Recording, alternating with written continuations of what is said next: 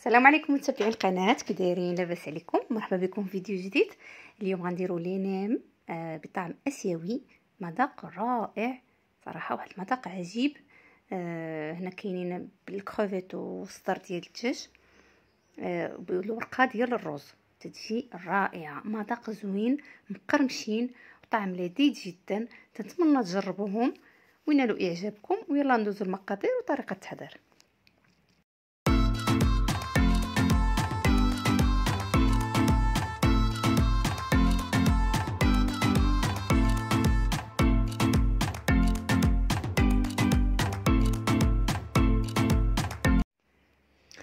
ونبداو بسم الله المقادير ديالنا. عندنا هنا شوية ديال الكالامار عندنا شوية ديال الكروفيت. عندنا صدر ديال الدجاجة مقطع. عندنا شوية ديال الشامبينيون نوار مقطعين. شعرية صينية نديروها تتفزك تنقطعوها. هذه ديال الروز. بصيلة مشلضة. هنا قياس جوج حتى ثلاثة خيزويات محكوكين. بيضة وحدة. شوية د الملح. شوية د السكنجبير طري إلا كان متوفر ما كاش نديرو العادي. وشوية ديال الحار والنوعية ديال الورقه الورقة ديال الروز اللي كندير هي هذه زوينة هذه نوعية رائعة.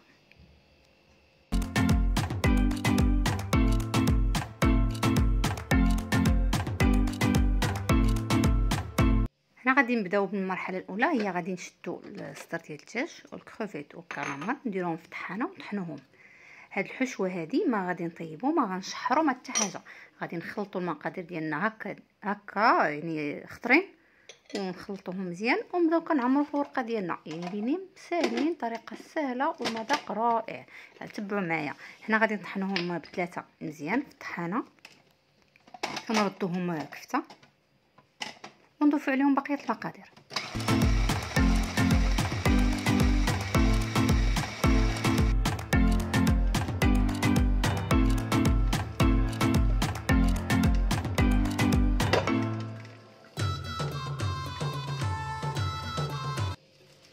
هنا بعد ما طحنا الحوت ديالنا مع الدجاج نضيفو عليهم شامبينيون نوار ونضيفو عليهم شوية ديال الشعريه مقطعه رقيق نضيفو عليهم بصلة مشلضة.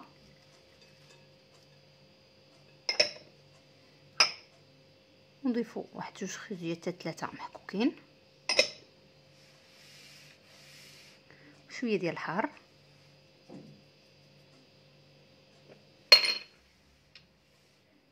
شوية ديال السكنجبير طري وشوية ديال الملحة.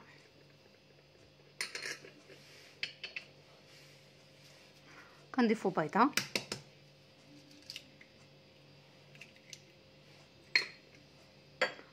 وكنديرو شوية ديال الصويا صوص.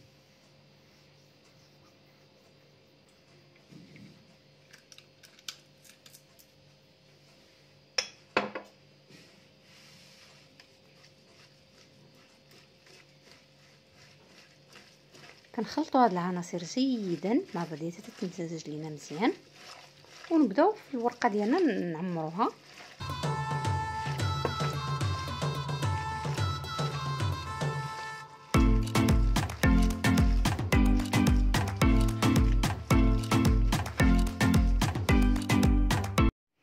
بعد ما خلطنا العناصر جيدا كما تلاحظوا غادي ندوزو دابا باش نعمروها في الورقة. هاد الورقة ديال الروز عندها طريقة خاصة. كنشدوها كنديروها في شوية ديال الماء ناخذ شي إناء يكون كبير على قياسها ونديرو فيه شوية الماء ونبداو نفزكوها. بحال هكا كما كتشاهدوا. وغادي نحطو على طاولة العمل توب حتى هو نفزكوه بالماء ونعصروه مزيان. هذه هي الطريقة باش كتخدم هاد الورقة ديال الروز. حيت هي غير تترطب كتبدا تلصق. هي بحال الروز. الروز هو كي داير تبدا تلصق خاص دغيا نفزكوها ونحطوها على سطح عامل حتى هو فيه الماء ونخدموها دغيا قبل ما ترطب بزاف لحقاش إلا شي وحدة أول مرة ديرها غادي تغلبها شوية خاصها ما تفزكاش بزاف باش تخدم قبل ما ترطب. شي دابا أنا عندي هنا راه رطبت رطبة بزاف.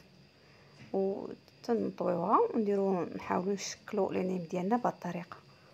نوركو شوية باش تجينا مزيرة. بحال هكا بهذا الشكل. صافي ها هي النيم ديالنا واجده ونكونوا حنا خدامين ومخدمين معنا الزيت تكون سخنات اللي صايبناها نحطوها في الزيت. بهذه الطريقة آه غادي نتفاداو باش غادي نتفاداو يتلصقوا لينا. حيت هي راه ورقه الروز كتلصق خص اللي صايبناها نديروها في الزيت. وفي الزيت يكونوا مباعدين حيت راه لصقات وحدة مع وحدة راه الجاب ما فكهم لك يكونوا مباعدين مثلا نقله ديري فيها غير ربعة بربعة خدمي ربعة بربعة. اللي صايبتيها حطيها في الزيت وخليها تحمر مزيان ماشي تحمر خليها طيب هاد الورقة ما كتحمرش مزيان بزاف ما كتحمرش هي ماشي بحال الأخرى. غادي نخليوها طيب مزيان تنحسو بها قسحت عاد غنهزوها ونحطوها في شي منديل آه ورقي باش تشرب لينا الزيت. وغنخليوها حتى الوقت ديال التقديم اللي غادي نحطوها في الطبلة ونعاود نردوها نقليوها المره الثانية كتقلى الورقة المرة الثانية النيم ديالنا الورقة المرة الثانية تتجي هائلة مقرمشة وشتي هاد الورقة فحد ذاتها بنينة غير بوحدها لدقتيها بنينة. يعني كنتمنى تجربوهم واخا شوية في الخدمة ديالهم شوية بحال صعاب ولكن مره جوج ثلاثة صافي غادي تولي فيها آه، رائعة رائعة مذاق ديالها رائع. الورقة الأولى رانا خدمتها كلها باش ديروا نيم نيم كبيرة. وهاد الورقة قسمتها على جوج اللي بغى يدير جوج صغار. يعني بحال بحال بقى غير حجم وصافي اختياري.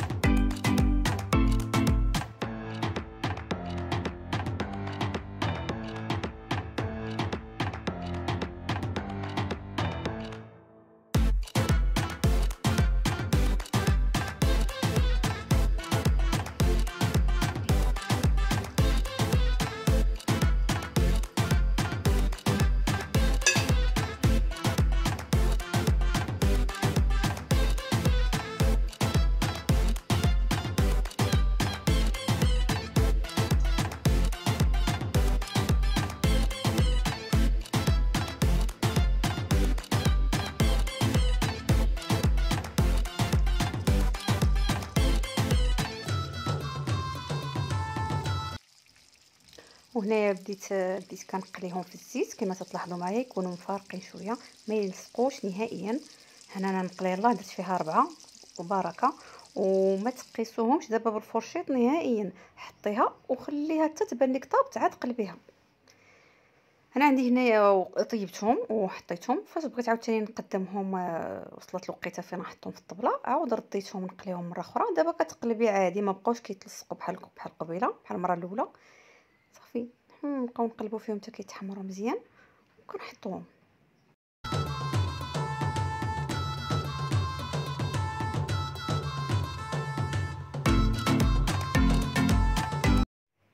وهادو لينين ديالنا ملي كنخرجوهم من الزيت شفتوا القياس ديال التحمار يعني هذا هو القياس باش كيتحمروا ما يزيدوش مازال أكثر. كنحطوهم على الورق باش يشرب شوية ديال الزيت. وتنقطعوهم ولا نحطوهم هكا ولا واحد على حسب الطريقة ديال التقديم ديالهم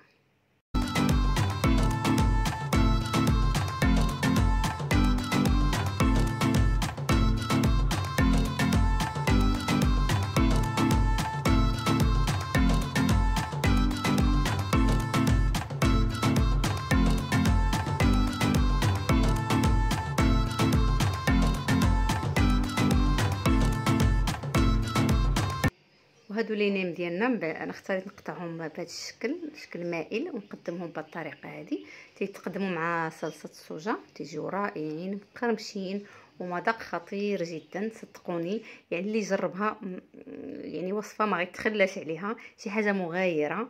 نتمنى تعجبكم وإلى فيديو قادم إن شاء الله.